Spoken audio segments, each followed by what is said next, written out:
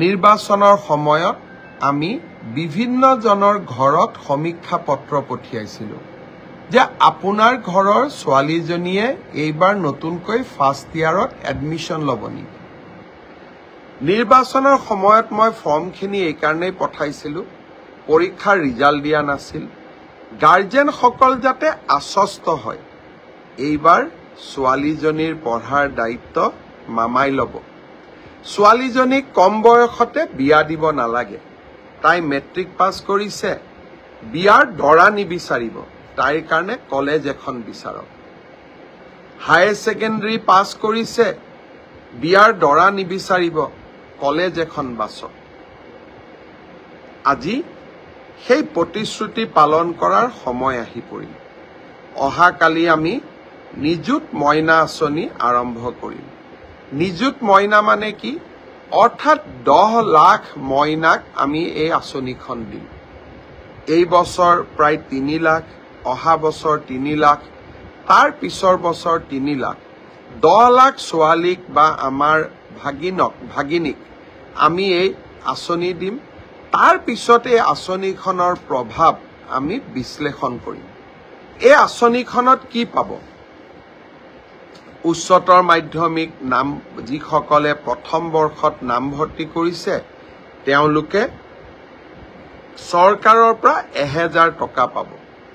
উচ্চতৰ মাধ্যমিক দ্বিতীয় বৰ্ষলৈ যেতিয়া উন্নত হ'ব তেতিয়াও পাব। আৰু অহাবাৰ প্ৰথম বৰ্ষত যিসকলে নামভৰ্তি কৰিব তেওঁলোকেও পাব। হায়াৰ ছেকেণ্ডেৰী পাছ কৰি যিসকলে ডিগ্ৰীত নামভৰ্তি কৰিলে তেওঁলোকে চাৰে বাৰশ টকা পাব। ছোৱালীসকলে পাব। বিয়া হলে কিন্তু নাপাব। বিয়া নোহোৱা থকালৈকে পাব। বিয়া হৈ গলেতো আঁচনিখনৰ অৰ্থই নাথাকিব। বাল্য বিবাহটো হৈয়ে গ'ল।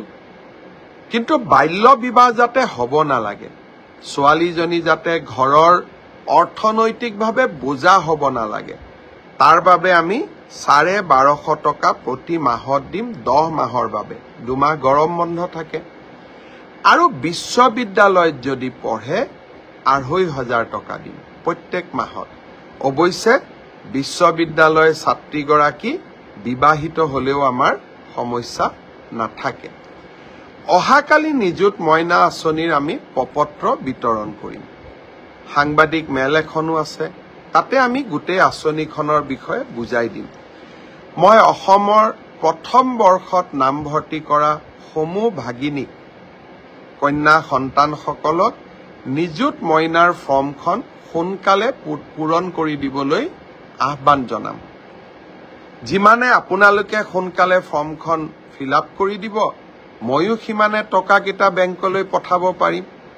দহ অক্টোবৰৰ দিনা প্ৰথম কিস্তি পঠাবৰ বাবে মই মনত ভাবি আছো যদিহে আপোনালোকৰ পৰা ভাগিনীহঁতৰ পৰা সহায় আৰু সহযোগিতা পাওঁ। কলেজৰ অধ্যক্ষসকলেও সহযোগিতা কৰিব লাগিব।